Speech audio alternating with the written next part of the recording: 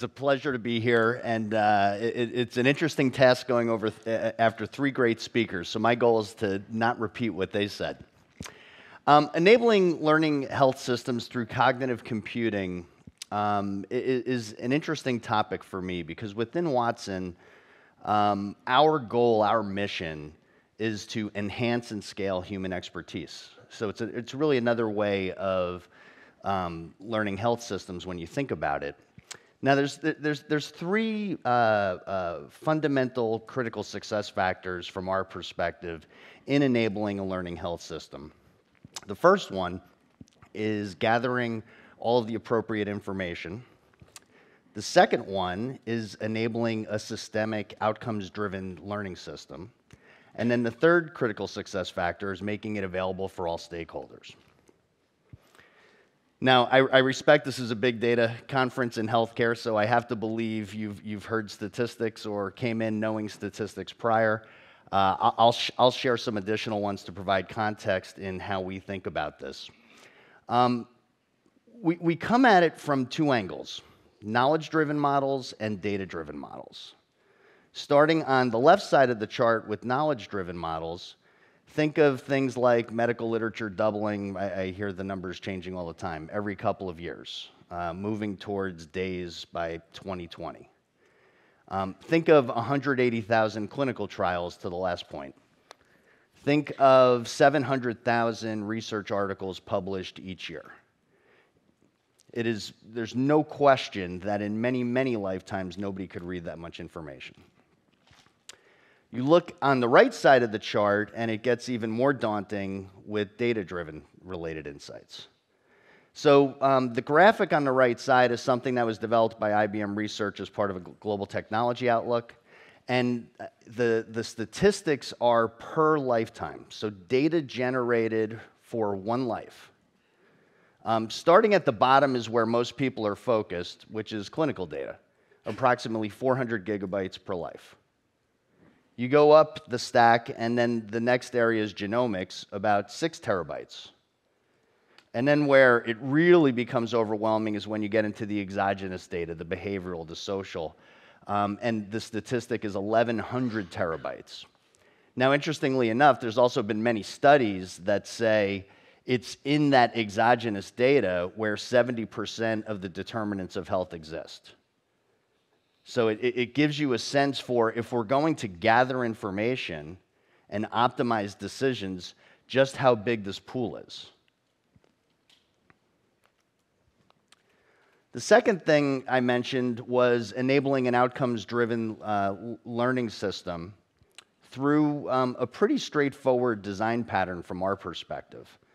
Um, it, it's really about understanding the individual, ensuring that evidence based insights are applied, and then learning from that process and, and, and, course correcting. Now, underneath this, though, is some incredibly sophisticated capabilities that are required. Um, you can see from some of the images, it's, it's, it's all sorts of unstructured data sources. It can be things like language, it can be things like understanding what's, what's underneath language, like psychographically analyzing somebody, understanding the sentiment that's in their language. It can be things like uh, uh, raw feature extraction on images. And, and, and then it's things like personal choices. And, and so, what are the preferences of the patient and ensuring that the decision making process incorporates that? Evidence based insights how do you marry that world of data driven and knowledge driven together? What does literature say I should do for a patient with exactly these circumstances? What do best practices from Stanford or pick your favorite institution say I should do for a patient like this? And then marry that together with data driven, right? The patients like me type scenario. Tell me from the 1100 terabytes times however many patients in the repository of you know what is the optimal answer to a question within the context of that patient right? And, and bringing that together. So you have a combination of what does stanford think is best practice but then you can marry it with what works well for my system. Maybe we're not as good as, at surgery, right? And, and as you think about enabling these learning systems around the world, and you have such variance, uh, variations, excuse me, in, in capabilities and things like that, it, it, it becomes a very real challenge. And when you think about, I started on the patient intake process mentioning, well, it'd be good to know what their preferences are. That pretty much determines what a good outcome is. Because what's a good outcome for, for me may not be a good outcome for you. So, how do you track that in a way that's systemic and then have the machine learn from that process? Third thing I mentioned was enabling this capability across all stakeholders. So we are in the very early days of Watson, but we already have many solutions that are being applied in, in, in, the health ecosystem today. And so I'll share with you my frame of reference. We by no means think we're the, the, the beginning and end of, of, of uh, uh, insights, um, but we, we, we, think we're doing some interesting things uh, across this continuum. So I roughly break it down across uh, three value categories which align against the stakeholders improving engagement, whether it be a patient, a consumer, a citizen, pick your favorite vernacular, um, optimizing research and development, and um, improving clinical outcomes. So, improving engagement, we have a solution aptly named Engagement Advisor, which is essentially a consumer driven solution. For those of you that watched the Jeopardy demonstration a few years ago, this is what most of you imagine Watson is. You ask a, a, a difficult question um, and you get a very good answer, but imagine something that's developed now over the past three years. So, we've built in dialogue capability so that you can actually make it a conversation versus a, a discrete question and answer type exchange. We have, we have solutions that we've developed in wellness, uh, chronic conditions, things like that. Um, and, and, since it does have a dialogue ability, it, it, it provides almost a, like a, a self-service nudging ability with the individual you're interacting with. Within research and development, we have a, a few solutions um, that, that we developed. Uh, the first solution is related to discovery we have a solution where we ingested Watson with 40 million research documents, and we've trained it on certain domains. Um, one of the things we published with Baylor College of Medicine last year was some work we did on the P53 protein. They were interested in phosphorylation, um, and the run rate for the industry is, about one per year for new targets. Um, within weeks of using Watson, they identified seven new targets. And basically, what they did is they let Watson do the heavy lifting of reading all of those 40 million documents. By the way, 70,000 of them are related to the P53 protein. And they said, Watson, help me understand, um, you know, what, is, what are the types of things that'll help me identify the new needles in the haystack.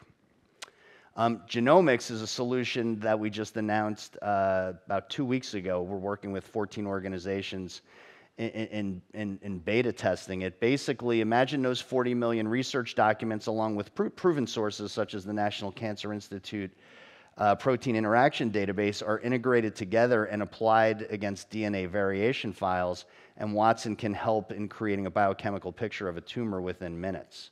Again, it's, it's leaving the, the reading um, and some of that heavy lifting to the machine um, and letting the clinicians and researchers focus on what do you do with those insights. Um, clinical trial matching was, was mentioned a couple of times. Uh, we trained a solution on the National Institute for Health Clinical Trials.gov. Imagine Watson reads 180,000 trials so that at the point of care, Watson can read the patient case and then tell you which trials the patient is eligible for. And again, you think about that statistic of 3% of people being considered for trials, it's, it's, it's something that the societal benefits here are profound. Already uh, shifting into the right side of the chart, which is improving clinical outcomes, and we have several solutions that we're, we're working on here. Um, uh, the first one gets into treatment advisors. So we have actually a couple of solutions we developed related to oncology um, one with Memorial Sloan Kettering, uh, focused on lung, breast, colorectal cancer. Imagine you, you, you train a machine on millions of pages of medical literature and then uh, have it ingest thousands of patient cases so that it gets an appreciation for how best to treat patients with those diseases. Similarly, we created a, a, a leukemia based solution and a molecular targeted therapy solution with MD Anderson, and we're working with other organizations on other, other diseases with that same underlying capability. Um, the electronic medical record advisor is something we originally developed with the Cleveland Clinic. It's now being piloted at the Mayo Clinic, uh, and it's also part of a demonstration project with the Veterans Health Administration, where basically we have the machine read in the longitudinal history of the patient, both the structured fields and more importantly, the unstructured fields, the nurse's notes, the doctor's notes, things like that.